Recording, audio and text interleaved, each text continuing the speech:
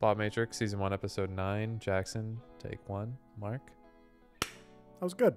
you know, I've been clapping all my life. Who do you think has a louder clap, me or you? Well, do you want to see who can do a louder clap? Like, if I'm trying, then I'm gonna. You're not gonna win. You think you can clap loud? Okay, you only get one. One try. On, I gotta- think I can have you beat.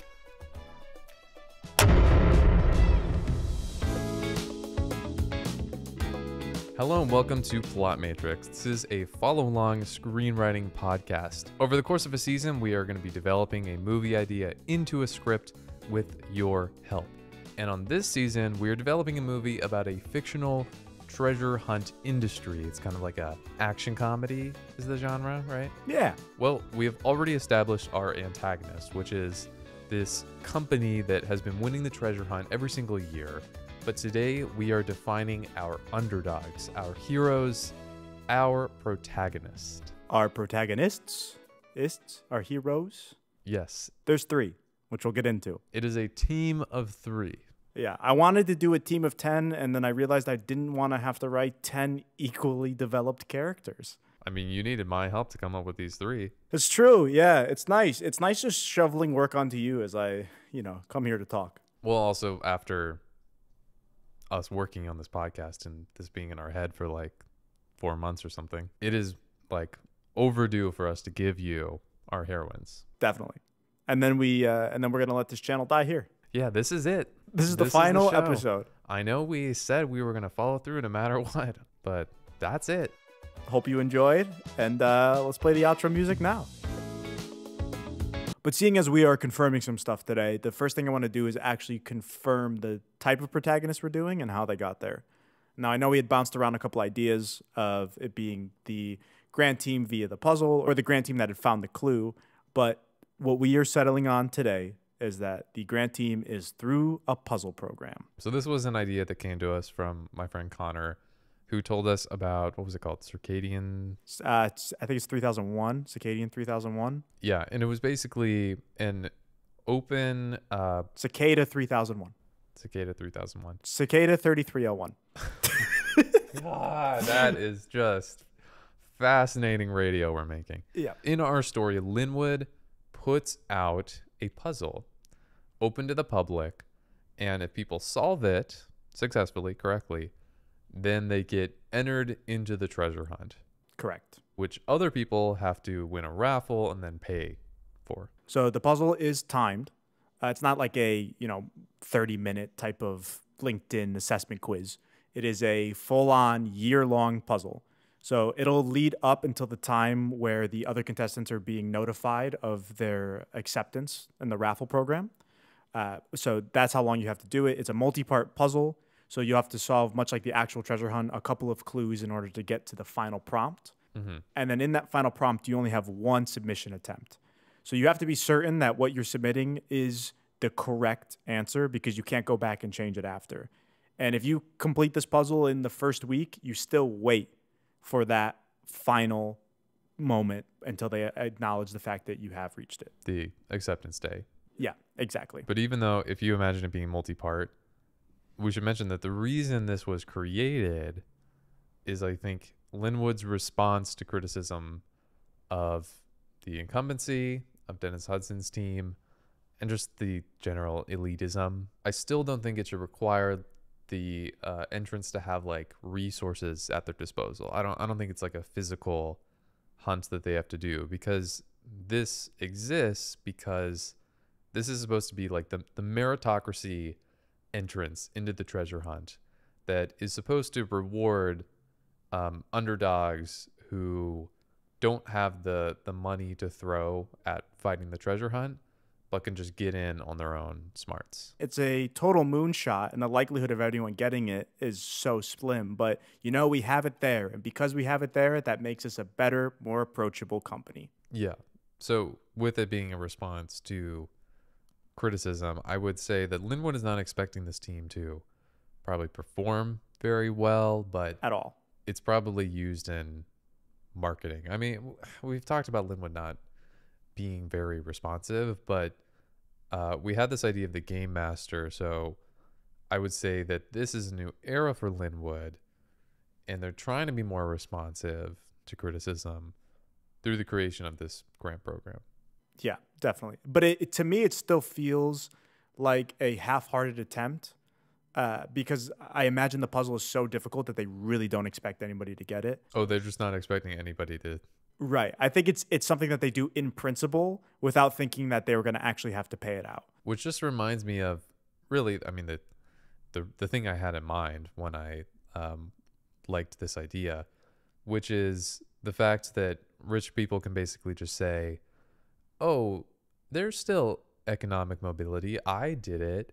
Oh, why don't you just go to community college and work nights and weekends and like basically just because you technically can rise up in America uh doesn't mean that it's like an easy thing to do. Or it's guaranteed it's going to happen, Right. which is how a lot of these people speak about it. Besides the economic comparison, I think another one that it might be suitable for this is the social comparison of something like in the NFL, there's this thing called the Rooney Rule. And the Rooney Rule is whenever there's an open coaching position, they've expanded it now to be like position coaches as well, but it used to just be head coaches. Uh, you had to interview a person of color for the head coaching job, right? They did that to try to counteract the fact that there were almost, I think, I think 29 out of the coaches, the 32 or 30, however many the coaches there are, are white. And there are very few people of color that ever get to a leadership position like that. So teams will go and they'll say, "Oh, well, we interviewed uh, this one candidate, but we're going to go with this other white guy." Now, coaches trying to make the point that the rule is just there in name. We don't. It doesn't actually generate any change like they're hoping to. But the NFL is using it as an out to say, "Look, we're encouraging diversity. You know, this is the most that we can do. We can't actually push the teams to hire these people. They have to go with whoever's best." And that's something that this puzzle sort of felt like to me in that same response, which is just, you know, we're putting this out there. So we're we're doing our part. We're doing everything we can. If people don't get it, it's not our fault. You know, we can't make it any easier than we already have to get into this competition. These alternative doors to like get into top roles in companies or things like that, these like fast track programs, um, the design of them is going to inherently disadvantage people from marginalized communities. Right. The bias is baked into the system where if you just imagine for us, well, if the the cipher, the puzzle that you need to solve is in English and has like um, English idioms and characteristics and um, novel references, then of course that's like obviously not the point. Definitely. You eliminate so many people deliberately pretty much by putting it that way, but you can just play it off in, in whatever circumstances you want. So do you think that the puzzle is based in ling- linguistics and is English? I think it's a, a factor of it. Okay. I think this is something we could definitely discuss because, and we're about to get into the characters itself. I'll just give these overarching character strokes that we thought of here while we're already on the topic. I'll just say we haven't defined the characters' names or where they're from yet. We're going to get into that afterwards. What we wanted was to just get the characteristics of the type of people we wanted to examine and then do the actual research to put them in that place or from that place. But what we do have is a if we decide on the number of 3 characters, Correct. we sort of figured out the dynamic we wanted them to have and then sort of worked backwards to figure out what each one of those characters would, would represent and what motivates them. Although we haven't decided the specific countries yet, we have wholeheartedly agreed no Americans on this team because we want to counteract what we're already saying with the Hudson team and everything that comes with them. And maybe, you know, if we go with the undercover Fed plot line that comes in there, we have more Americans. So I think we're American out. I think we have enough America Mhm. all over this. So I think putting our three protagonists from countries from, you know, not the maybe not even European countries, but countries from any other part of the world could make this a lot more interesting for us in general what we have to research and bringing these characters to life, but also maybe get some people who aren't normally on screen on screen. Okay. Do you want to give us the overview of the 3? Yep. All right, let's do it. So I'm going to go over our protagonist, protagonist, our team leader, if we will. Mhm. And for each one of these characters, we're going to begin by sharing their motivation and then share a few more of their character traits as well. So far, what we have imagined, we're going to go with the name Alice. Yeah, we can't name her Alice without like having an Alice in Wonderland like uh, reference. Like people will. We're not naming her Alice. I'm I'm vetoing Alice now. This is our, our temp holder name. Okay, That's fine. That's fine. And Alice's motivation here is uh, improving her station in life for her, her family, and her community. And for that, we imagine that she is a woman from a marginalized community. Uh, she's charismatic, but she's a little bit more serious because this is not a fun endeavor for her. It's a genuine opportunity to change her life and make an impact on the people around her. Obviously, they're they're competing for a lot of money and they're taking it seriously, but I think she views this really not as a last ditch effort, but as taking for, for what it is. I think the other two might be a little bit more relaxed about the competition because while they have a lot to gain from it, they don't necessarily have the circumstances that she comes from. Okay. Part of what comes from that though is that she refuses to take advantage of people or any morally ambiguous circumstances because she knows the impact that it can have from where she's from. I kind of imagine that maybe at some point the treasure hunt went through her town, her village, her city, whatever it was, when she was a kid. And she saw the chaos that resulted from it. And that's how she found out about the contest, but also how she found out about the dark side of everything that could happen. Um, and I imagine that she is the team leader. She's the most physically coordinated compared to the other two, uh, but she's really good at balancing the other skills that they bring. Mm-hmm. So right off the bat, the thing that jumps out the most to me is something that's obviously really planted in our story, and that's the fact that she might have seen the treasure hunt go through her community when she was a kid. What are your thoughts on that? I don't know if that feels a little bit too cliche, a little bit too, oh, you know, you see this horrific image when you're a child and then it consumes your whole life. I don't know if that feels too on the nose or if it seems like in this world it would make sense that, you know, when this opportunity arose to compete in the puzzle competition, she would leap at it. Yeah, I mean, I, I don't know if that's entirely necessary. Um, because, I mean, one thing that I should say about all three of these characters, there's this big character trait that's just baked into all of them.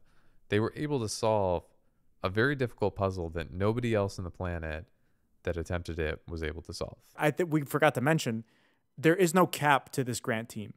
If 100 people got the puzzle correct, then there would be 100 people on this team. But for this specific competition, it was only these three that got it right. Okay, so all three characters, incredibly smart. Yeah. Very talented, smart in different ways. Right. But all of them need this money resource that they have to use to work together. So, like in reference to all the like layers of conflict that we that I went over last week, there's going to be in some intergroup conflict as well. Definitely. What is the relationship between her and the other two characters? Like, because three characters is this good number where each one of them has just another relationship with the other two, we need to basically put a word or a sentence defining each relationship. Yeah. Well, let's let's go through the other two because I think it'll be easier to discuss the three of them in contrast to each other. All right, well, then let me kick it over to you to do the next one because I know this was a character that you personally really wanted to introduce to this team. Yeah, so I mean, I I had the idea for this character because of what I wanted them to represent in terms of our team. So right now we're calling this character Jane, and we're saying that she's around 21 years old, basically just a couple of years out of high school.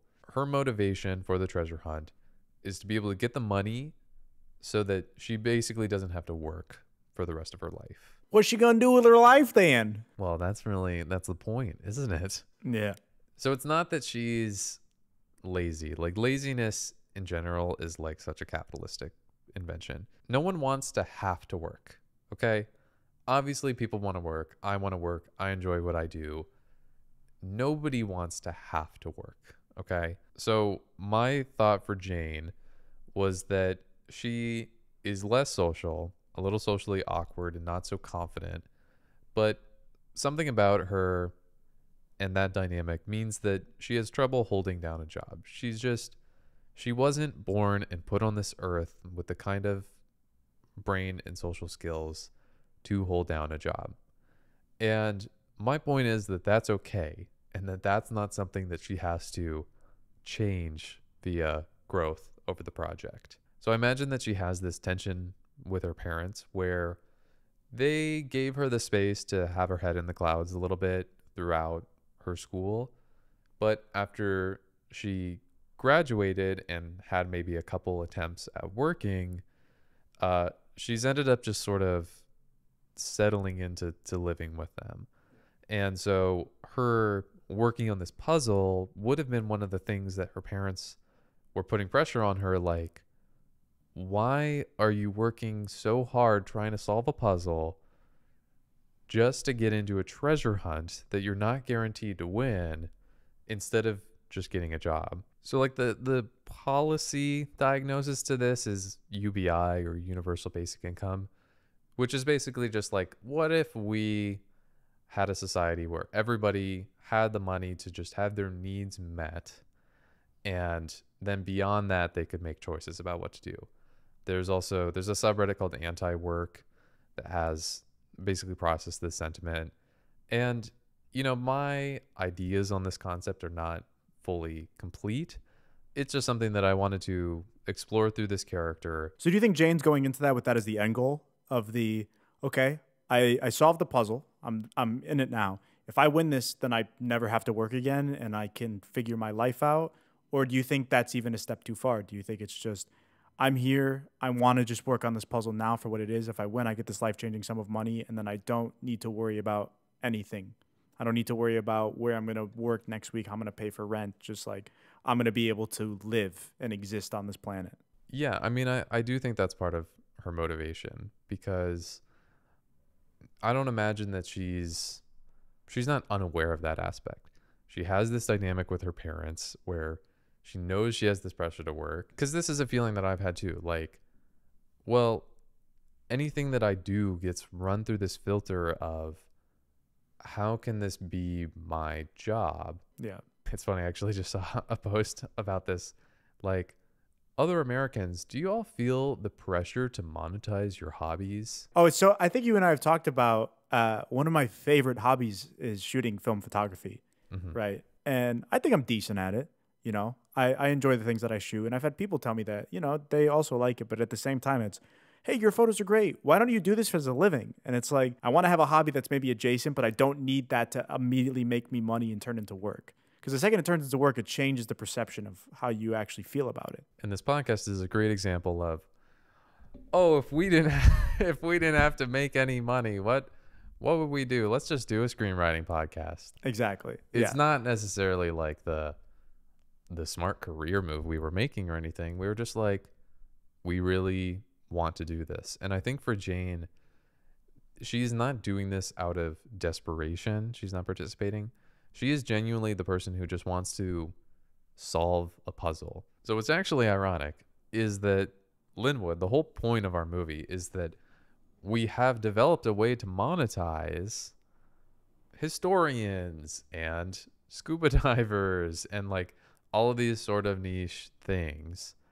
But I think that that is actually a point of tension for Jane where when she's doing really well, let's say well, Hudson might reach out to her to want to recruit her because let's just let's just say that she's the smartest on our team of protagonists.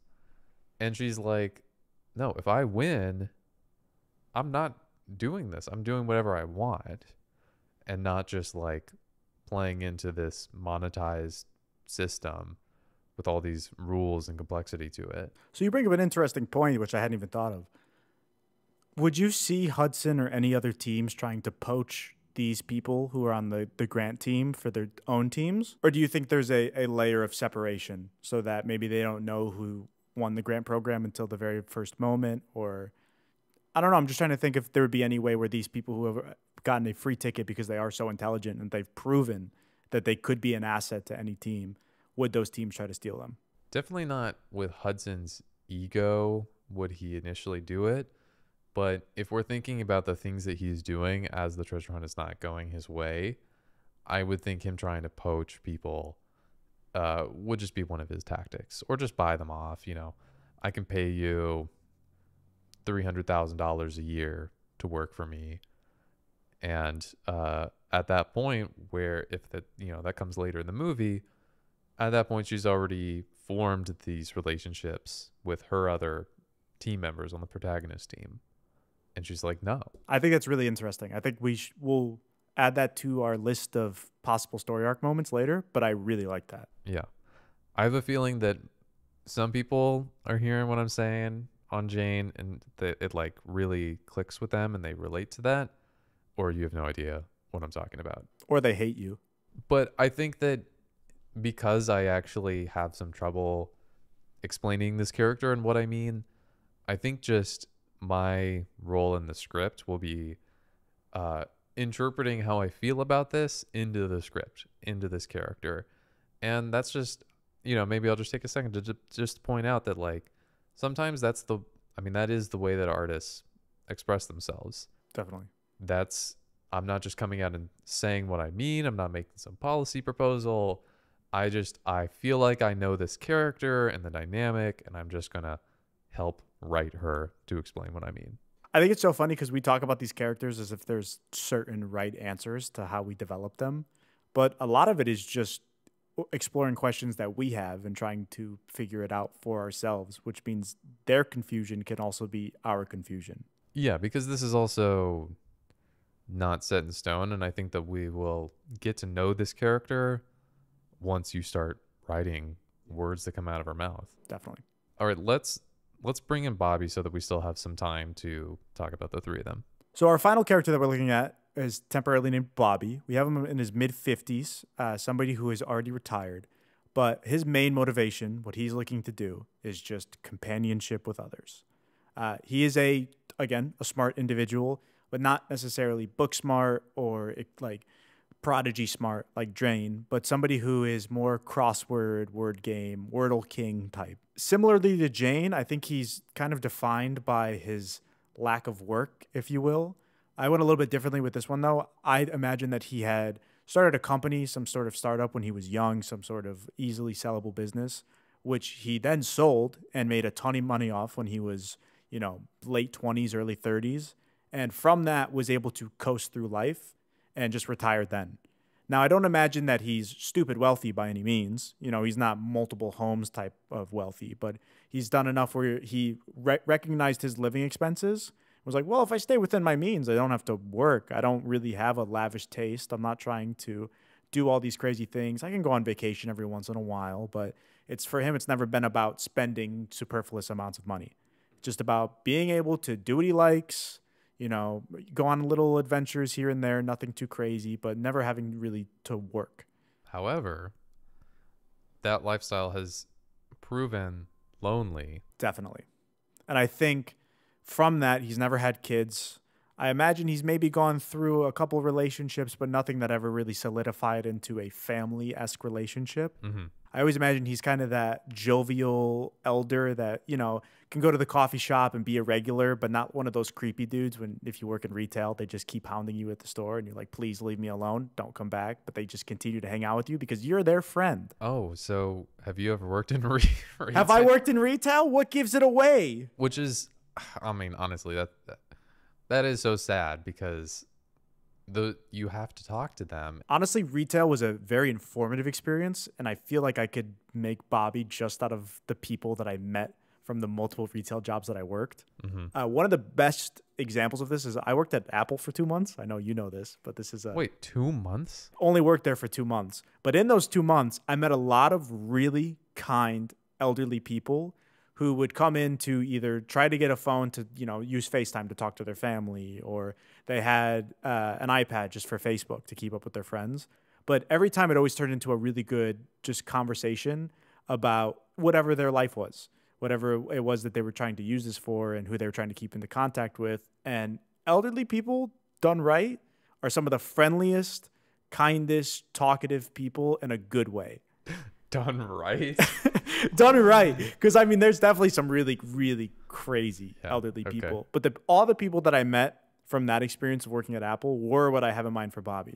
Of this person who comes around you see them they're so happy to see you. They don't take too much of your time. They they know their place. They have the social cues. But they're there to just be a pleasant force and they're there to help achieve a mission.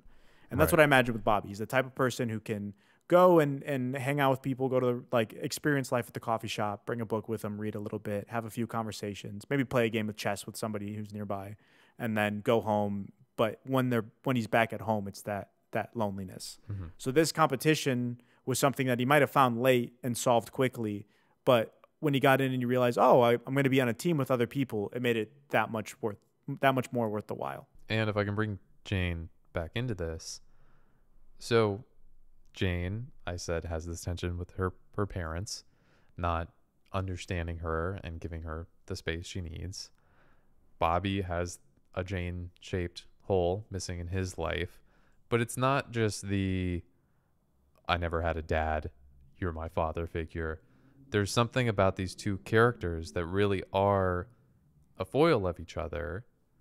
Bobby, who sold this company, who's been just lonely in retirement, who understands what that life is like and understands that just having that space of not needing to work um i mean through the opposite perspective of like a wealthy retired person um is like the perfect father figure for jane who is smart in many of the same ways and is trying to find her way into that lifestyle Definitely.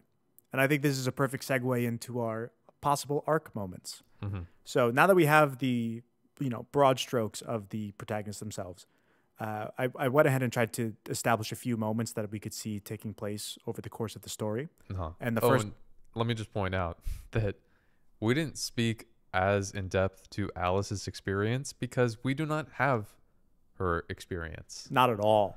No, not in the slightest. And that's kind of what we were saying at the beginning about we need to do this research and make sure that uh, it's not, oh, let's pick a marginalized community by throwing a dart on a map. It's let's do some genuine research, find out, talk to people that we know, get real experiences, and be able to integrate those into the story. So this is a truly specific person, right not just a, a you know, summarization of so many different experiences people have. right Um, but yes, Continue. definitely yes arcs uh, arcs. And I think building off of your point about uh, Bobby and Jane, I think one of the moments in here would be that sort of pushback, the establishing of boundaries, and and that conversation that they have of, you know, it's not deliberately trying to be your father figure. And I think Jane would maybe have a moment of just like, you're not my parents. Don't try to tell me what to do or what I'm supposed to be experiencing. You know, that pushback and creating that little bit of of uh, tension in between the team in order for them to to come together at a later moment and see eye to eye about each of their perspectives and what they were trying to bring to one another, Mhm. which I think is a pretty clear moment that we could have kind of woven throughout building as they're maybe struggling a little bit. Uh, yeah and then especially when jane if jane gets this offer from hudson does she tell bobby i mean there's this whole triangle to figure out when we just when things go wrong when we throw a wrench in it at some point does alice feel like she would rather just liquidate the remaining $80000 Yeah. because she just is demoralized and feels like hey that's already life-changing money to me in my country. Can't we just be done with it? So there's all of these things that we can throw their way that only by really knowing these characters can we figure out how they would navigate that Right, definitely. I think that liquidation is a point too that I want to work in there. And I think what you brought up earlier about maybe Hudson trying to poach a person or two is another way we could do that in the, the same vein. But I think that idea of that all is lost moment where we have a new offer. It's either we can take the money we have now or, you know, we can take this lucrative offer from another team, something where there's going to be a decision for them to make. Do we keep going and keep trying to play this game and maybe come out better? Or do we just quit now, cash out now? Mhm. Uh, I think this is an obvious thing to talk about, though. And they're they're all going to have their moment where they shine in their specific way. Whatever skills are specific to them, they will have their moment to show what put them onto this grant team. Mhm. And then the final thing, which I think should be definitive, but I'd be interested to hear your thoughts. I think the team has to split up one way or another, meaning one of them bows out. I don't know if that means that, you know, Bobby dies or somebody goes missing or, you know, somebody ends up in the hospital.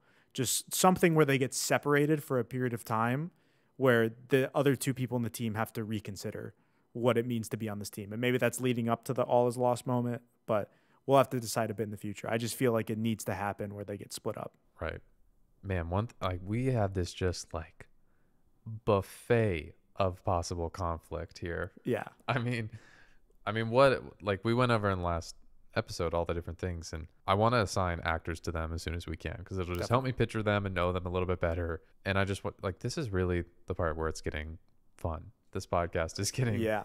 real. The movie idea is getting real. I'm daydreaming about it. And I hope it doesn't feel like we have just been chiseling away at a rock that isn't moving. Because every episode so far has really done a lot for us. And moving forward, the next thing we have is just the plot structure. Mhm. And once we get through that, it's down into the nitty gritty of writing. Right. Because one thing that we felt that we didn't know when we first launched the podcast was we really wanted to get to this this point or next episode's point to really bring people on because we felt like I mean we are making it up as we go. That's like literally what the Yeah. what the show is. We're but- phonies. but there was just so little to like sink your teeth into and engage with early on but now it feels like you know here's some characters here's their descriptions and i think that from the audience we're going to see more ideas flowing. Definitely. so let's say for these three different characters i'm going to solicit real life experience from these three characters that we've explained to you so far. You know we don't have a lot more in mind than this. I want to hear stories from the audience. Do you know someone like this? Are you this person? Do you relate to them? And so instead of uh, being in this hypothetical space, I just want to call on authentic life experience. We only have our limited scope of what we've experienced Right. as two white American boys. right. Do you have a dot? Do you have a dog? do you have a dog that reminds you of Bobby? Do you have do a you have a, a parent that reminds you of Bobby? Do you have a sibling that reminds you of Jane, etc.? I just want to hear some stories. Definitely. Stories make the best scripts. Yeah. Oh, scripts are stories. Are you just learning that? Quick, do the readout. Do the readout. Thank you so much for listening to Plot Matrix. We will be placing a poll on our Instagram story. Who has the better mustache? Next time you see me, this is going to be jet black. That's not going to make it look fuller. It's going to make it look so much better. That Instagram account is at Plot Matrix. You can find the show on YouTube or wherever you listen to podcasts. Your hosts are us, Jackson Casimiro, and Brian Smail III. This is a production of Lunation Lab. Learn more at lunationlab.com. See you next week.